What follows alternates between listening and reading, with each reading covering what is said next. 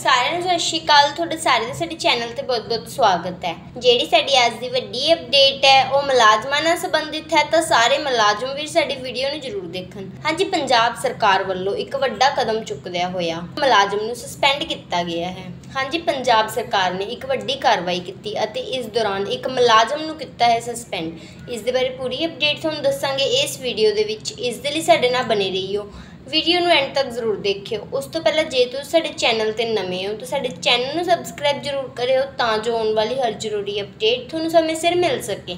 ਤਾਂ ਬਿਨਾਂ ਦੇਰੀ ਕੀਤੇ ਸ਼ੁਰੂ ਕਰਦੇ ਹਾਂ ਸਾਡੀ ਅੱਜ ਦੀ ਵੱਡੀ ਅਪਡੇਟ ਨਾਲ। ਹਾਂਜੀ, ਪੰਜਾਬ ਸਰਕਾਰ ਵੱਲੋਂ ਵੱਡੀ ਕਾਰਵਾਈ ਕਰਦੇ ਹੋਏ ਨਿਰਮਾਣ ਵਿਭਾਗ ਅਤੇ ਕਾਰਜਕਾਰੀ engineer national highway division Firozpur ਦੇ ਮਨਪ੍ਰੀਤ ਸਿੰਘ ਨੂੰ ਸਸਪੈਂਡ ਕੀਤਾ ਗਿਆ ਹੈ। ਪੰਜਾਬ ਸਰਕਾਰ ਦੇ ਵੱਲੋਂ ਇਹ ਕਾਰਵਾਈ ਪੰਜਾਬ ਸਿਵਲ ਸੇਵਾਵਾਂ ਨਿਯਮਾਵਲੀ 1970 ਦੇ ਰੂਲ ਨੰਬਰ 4 ਦੇ ਅਧੀਨ ਕੀਤੀ ਗਈ ਹੈ। ਦੱਸ ਦਈਏ ਕਿ ਇਸ ਦੇ ਨਾਲ ਹੀ ਇਹਨਾਂ ਹੁਕਮਾਂ ਵਿੱਚ ਕਿਹਾ ਗਿਆ ਹੈ ਕਿ ਮੁਲਤਵੀ ਕੀਤੇ ਹੋਏ ਅਧਿਕਾਰੀ ਨੂੰ ਹੁਣ ਨਿਯਮਾਂ ਅਤੇ ਹਦਾਇਤਾਂ ਦੇ ਅਨੁਸਾਰ ਗੁਜ਼ਾਰਾ ਪੱਤਾ ਮਿਲਣਯੋਗ ਹੋਏਗਾ।